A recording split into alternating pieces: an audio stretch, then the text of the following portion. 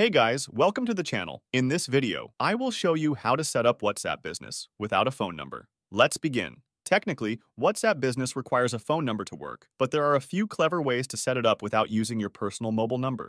One common method is using a virtual number. You can get one through services like TextNow or Second Line. Once you have a number, you enter it in WhatsApp Business during the setup, and when they send the OTP, you either get it via SMS or choose the Call Me option to receive it through a voice call. Another method is using a landline number. Just type in your landline during the setup process. Since landlines don't receive SMS, you'll need to wait for the Call Me option and then type in the verification code they give you. Some people also use temporary number apps like Burner or Hushed. These apps provide short-term numbers which can sometimes receive OTPs. But it's a bit of a gamble because not all of them work consistently with WhatsApp. Lastly, if you're already using WhatsApp on a mobile number, you can just switch that same number to WhatsApp Business. WhatsApp will migrate all your chats and media automatically, so you don't lose anything. And that's it. Thank you for watching.